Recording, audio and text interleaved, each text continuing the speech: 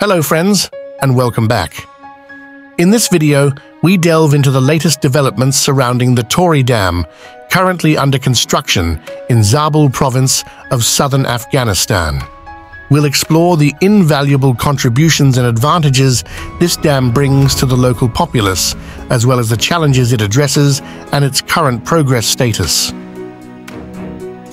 Commencing nearly a year ago, construction efforts have advanced significantly, nearing completion.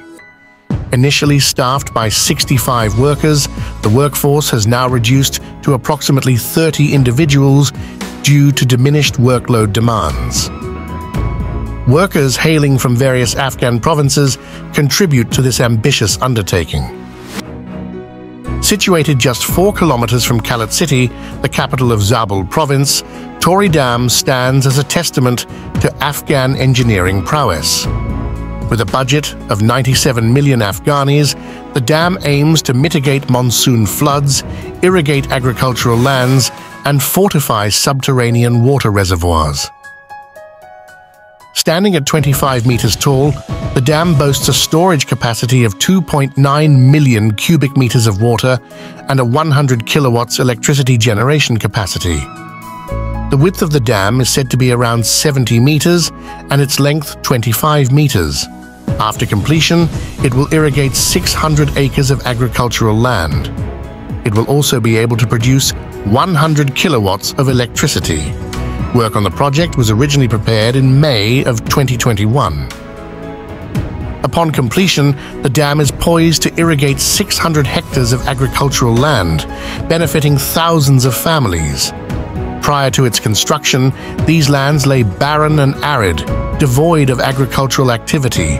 The initiative, entirely engineered and designed by Afghans, has garnered widespread approval from Zabul residents who advocate for the construction of additional dams to alleviate water scarcity concerns among farmers. The Tori Dam epitomizes development in Zabul province. Beyond flood control, its primary objectives encompass agricultural enhancement and groundwater reinforcement. Zabul, with its diverse climatic conditions, grapples with monsoon floods and seasonal river inundation. The dam's formidable stature and vast storage capacity offer respite by mitigating floods and minimizing associated damages, thereby bolstering environmental and economic security. Effective irrigation is pivotal for agricultural prosperity. Tori Dam's substantial water reservoirs promise ample opportunities for land cultivation and increased crop yields, thus fostering economic growth and job creation. In a nation plagued by water scarcity issues, the dam represents a beacon of hope, ensuring sustainable water resource management and ecological equilibrium preservation. Moreover, the dam emerges as an energy hub, capable of generating 100 kilowatts of electricity. This indigenous energy production alleviates regional dependence on external sources, bolstering self-sufficiency and fostering economic autonomy. Infrastructure projects like Tori Dam stimulate local employment, imparting valuable skills and expertise to the community. Tori Dam's multifaceted impact transcends mere infrastructure development. It serves as a catalyst for social and economic progress, elevating living standards, augmenting incomes, and nurturing developmental opportunities. As a symbol of regional advancement, the project instills hope and motivation within the local populace, fostering a sense of collective prosperity and well-being. Furthermore, the project underscores the importance of local capacity building and skill enhancement. By empowering communities with engineering proficiency and project management acumen, the dam engenders sustainable job opportunities and attracts domestic and foreign investments, thereby fostering long-term socio-economic growth. The Tori Dam project embodies a holistic approach to sustainable development by addressing water scarcity, enhancing agricultural productivity, and mitigating environmental hazards, it aligns with both local and global sustainable development objectives. Through meticulous supervision and adherence to quality standards, the project ensures the realization of its intended goals while fostering social cohesion and environmental stewardship.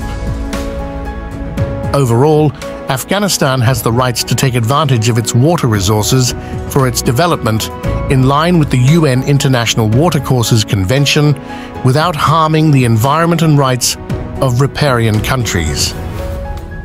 The development of water infrastructure and dams can produce several positive results for Afghanistan, such as reducing dependency on imported hydropower and improving the availability of water for irrigation and livestock.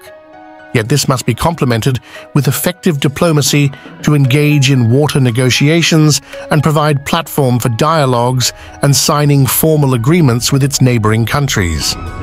For a successful water diplomacy, Afghanistan should have strong institutional and technical capacities which will strengthen Afghanistan's position in bilateral and multilateral dialogues with its neighbors.